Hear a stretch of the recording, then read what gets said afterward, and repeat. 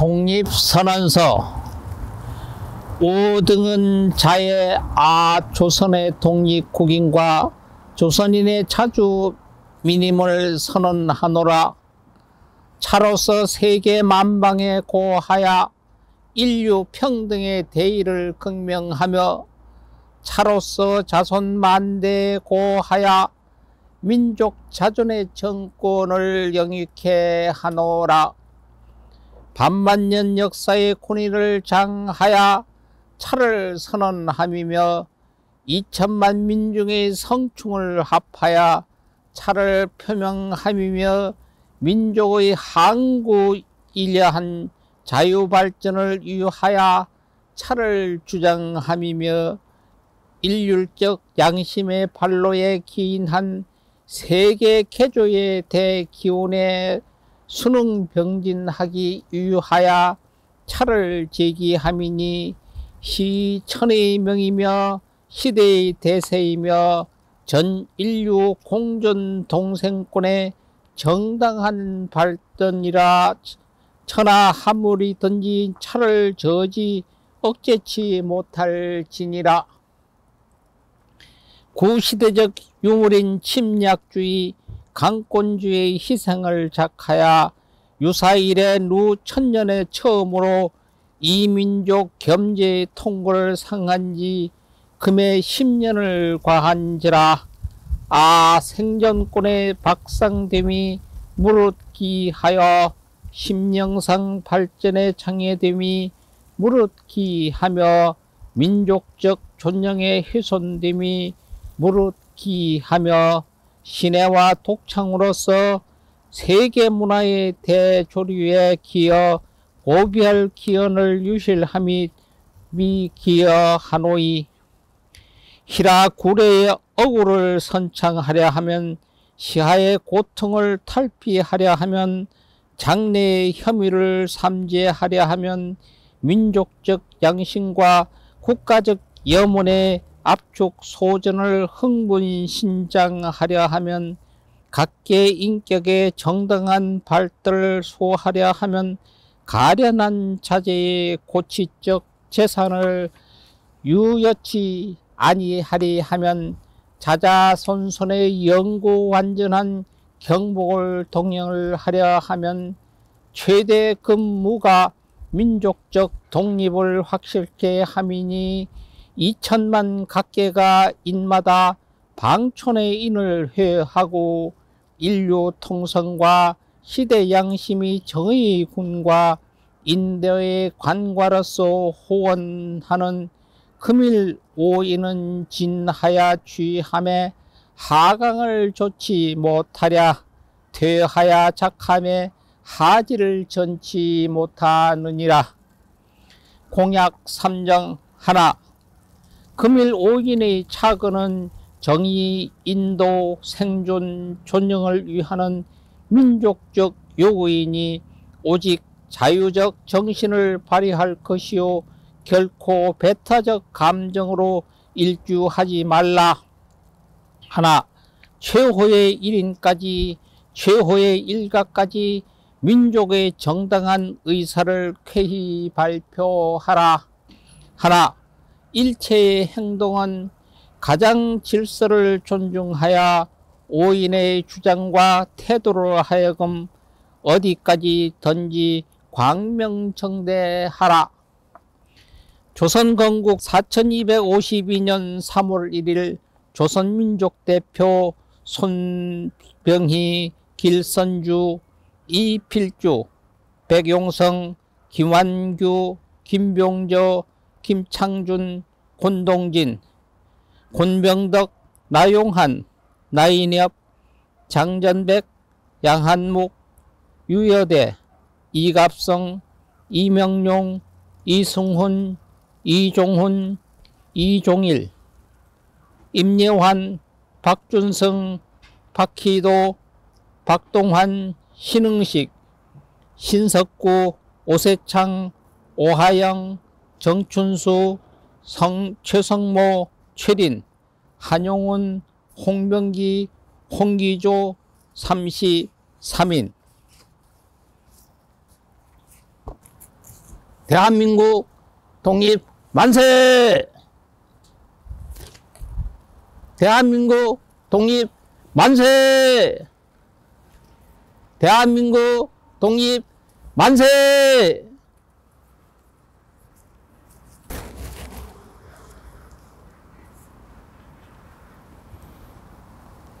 BI 방송 센터장 기한 스님입니다. 김인년 3월 1일 정오 터지자 민물 같은 대한독립 만세 태극기 곳곳마다 3천만의 하나로 이날은 우리의 생명이며 교훈이다. 한강물 다시 흐르고 백두산 높았다. 선열아 이 나라를 보호하소. 동포야 이 나라를 빛내자. 1919년 김인년도 4월 1일이었습니다. 병천면 아온의 장터에서 유관순 열사가 주관한 독립 만세운동을 전개한 역사의 현장으로서 당시 병천 아온의 장터와 일제의 헌병 주재소가 있던 곳 시관중이 일본 헌병 총에 맞아 순국한 장소에 지금 나와 있습니다. 지금 이곳은 105년 전 유관순 열사가 주도한 만세 운동 장소입니다. 105년 전 과연 어떤 일이 일어났는지 한번 더듬어 보겠습니다. 1919년 김인년도 3월 1일 민족 대표들이 서울 파고다 공원에서 독립선언문을 낭독했습니다. 유관순 열사는 3월 5일 남대문역 앞 학생당 시위 때도 참여했다가 붙잡혔습니다. 병무 총간부에 구금되어 있던 중 이화 학당 당국의 교섭으로 다른 학생들과 같이 함께 풀려났습니다. 이후 이화 학당 학교가 휴교하자 3월 13일 사촌 언니 유예도와 함께 이곳 고향으로 돌아와 만세 시위를 벌이기로 약속했습니다. 아버지인 유중곤, 숙부인 유중무, 이웃인 조인원, 조병옥 박사님의 부친님들 이와 같이 서로 만세운동을 하기로 약속하고 이들은 4월 1일 음력으로 3월 1일 이 아온의 장터 장날을 기하여 만세 운동을 일으키기로 약속했습니다. 이에 호영하여 머리에 수건을 쓰고 인근 주위를 돌면서 유림 대표와 큰 가문의 어른들을 찾아다니며 시운동에 나설 것을 설득했습니다. 또한 마을 사람들과 함께 시운동에 쓸 태극기도 만들었죠. 3월 31일 밤에는 인근 각지의 지사들에게 다음날 거사를 알리기 위하여 집 뒤인 매봉산에 올라가 횃불을 밝혔습니다. 멀고 가까운 24군데의 산봉우리에서 홍하는 횃불이 다 올랐습니다. 1919년 4월 1일 오후 1시 병천 아온의 장마당에서는 약 3천여 명의 군중이 과거로 이 장소에 모였던 겁니다. 아온의 장마당에 갈 때 옷 속에 자신들이 만든 태극기를 감추고 갔었죠. 기령이가 총본부격으로 아버지 유중곤, 어머니 이소재, 기령이 감리교회 교사인 숙부 유중우와 조병옥 박사의 아버지이신 조인원 등이 앞장을 섰습니다. 아우네 장터의 도로는 세 방향의 길목에는 책임을 맡은 사람들이 장터로 들어오는 사람들에게 태극기를 나누어 주었습니다. 태극기는 유관순과 지령이 사람들이 모두 밤새워 만든 겁니다.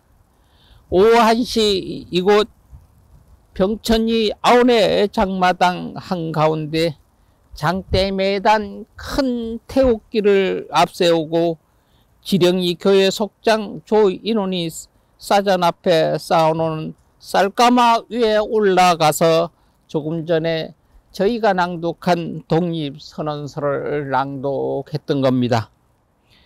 온 국민이 목이 터져라 대한 독립 만세를 외쳤습니다. 만세 소리는 산천을 뒤흔들고 메아리 쳤죠. 시행진이 시작됐습니다. 아버지 유중무와 숙부 조인원 등의 지도자들과 함께 장대에 매단 큰 태극기를 들고 시대 앞에 섰습니다. 장터에서 약 30m 거리에 있는 헌병 주재소가 있던 바로 지금 이 자리입니다.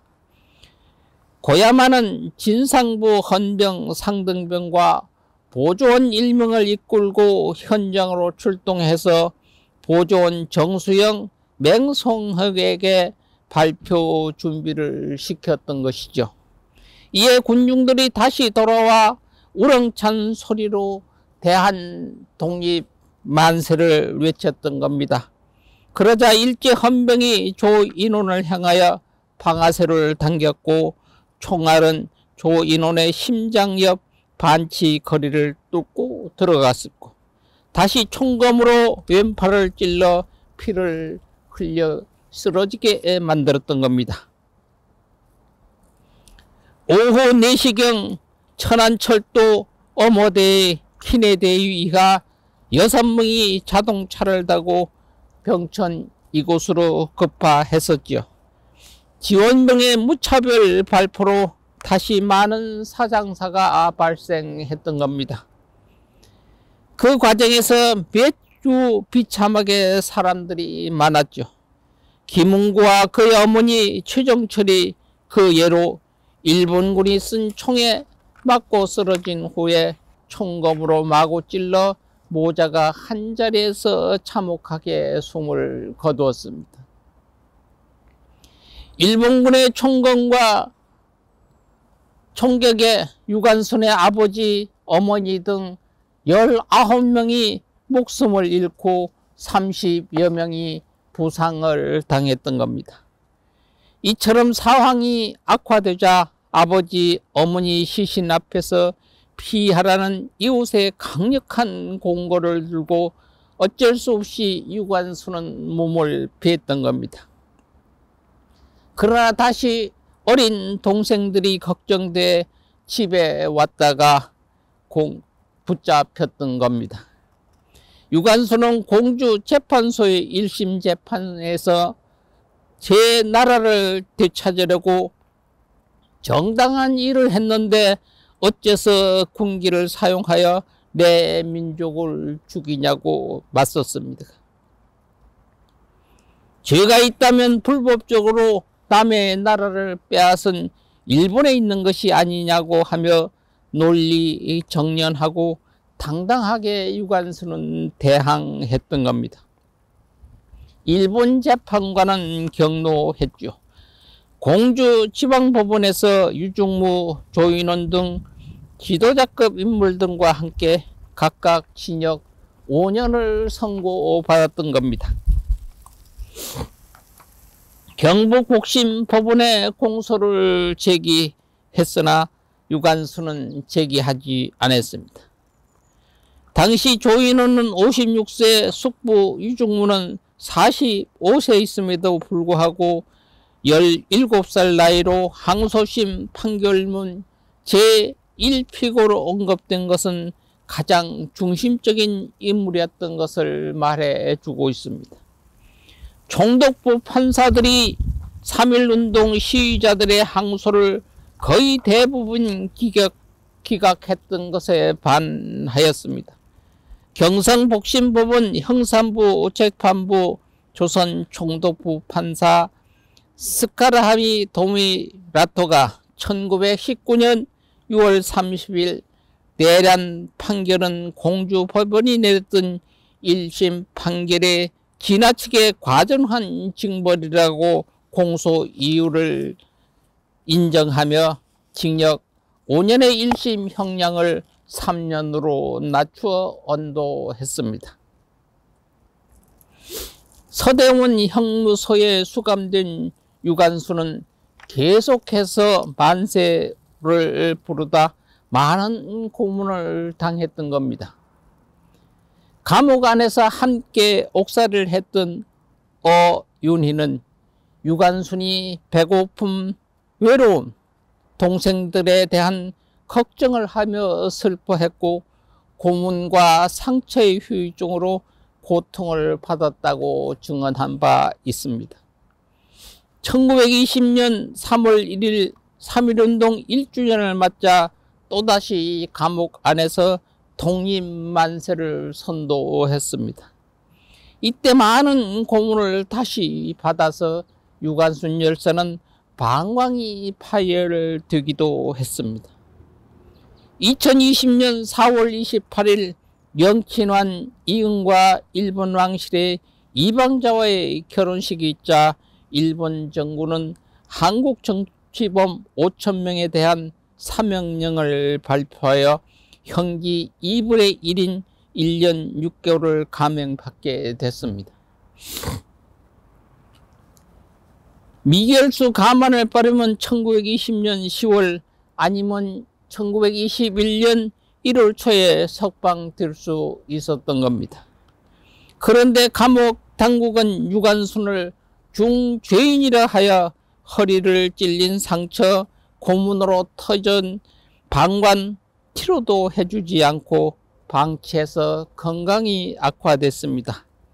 마침내 1920년 9월 28일 오전 8시 20분 서대문 감옥에서 유관순 열사는 숨을 거두었습니다. 정동 제1교에서 열린 장례식에는 가족교회 같은 반 학생 몇 명만 참석을 허락받게 됐고 쓸쓸하게 이태원 공동묘지에 묻히게 됐습니다. 무덤은 얼마 후 일제 군용기지 확장으로 미아리 공동묘지로 이장하는 과정에서 가족과 연락이 닿지 않아 무연고묘로 파하야 미아리 공동묘지로 여러분 비해방송센터장 이지한 스님도 조 며칠 전 망우리 공동묘지를 찾아서 유주무주 고혼영가 극락완생 천도 추모 발언을 했습니다. 그 망우리 공동묘지에 유관순 열사의 허묘가 조상되어 있더군요. 여러분 유관순 열사 같은 분과 일제시대의 가족을 등지고 목숨을 걸고 독립운동을 하신 선조 누님들이 아니면 지금 우리는 이 땅이 아마 일본 놈들 땅 아래 짓밟혀 있을 겁니다. 친일한 후손들은 지금 또잘 먹고 잘 입고 잘들 살고 있으나 독립운동을 한 후손들은 지금까지도 겨우겨우 살아가고 있는 실정입니다. 그 원흉은 일본은 아직까지 진심적인 사과도 없고 아직까지 독도를 공공연하게 자기네 땅이라고 우기고 정신대 문제, 강제 노동자 문제 등을 시인하거나 사과할 의사나 보상은 광복 80년이 된 현재까지도 생각하지 않고 있습니다. 피해를 입고 억울함을 당한 우리가 스스로 위안하고 그들을 이해하자는 현 정부의 태도를 어떻게 우리는 생각해야 되겠습니까? 독립선언을 한 33인과 유관순 열사와 3일 만세운동으로 목숨을 잃은 열사님들은 과연 지금 이 시대를 어떻게 생각하겠습니까? 유관순 열사님께 이 장소에서 묻습니다.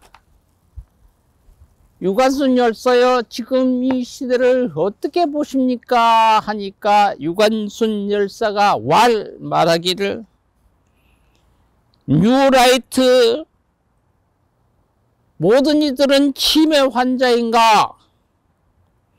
정부는 누가 우리나라 국민인가? 바보로 보는 것인가? 라고 대답하던군요. 여러분, 어쨌든 간 모든 것은 이해하고 서로 하게 하고 화합해야 됩니다. 사과하고 양보하고 이해하는 것도 서로 서로 뜻이 맞아야 합니다. 뒤를 돌이켜 보지는 않겠습니다만은 3.1 운동에서 목숨을 바친 모든 대한민국 애국 기사들에게 열을 받아 그 후손들은 잘 살고 있다는 것도 세계 만방에 보여야 될 것입니다. 대한민국 국민은 영원하리 대한민국은 전 세계 1등국이 되리라고 믿습니다. 여러분, 대한민국은 3.1 운동에 열기 받아서 요구 장성할 것입니다. 대한민국은 장래에도 큰 희망이 있습니다. 대한민국 만세! 대한민국은 번성합니다. 만세! 대한민국은 건강하고 행복한 국민이 될 것입니다. 만세!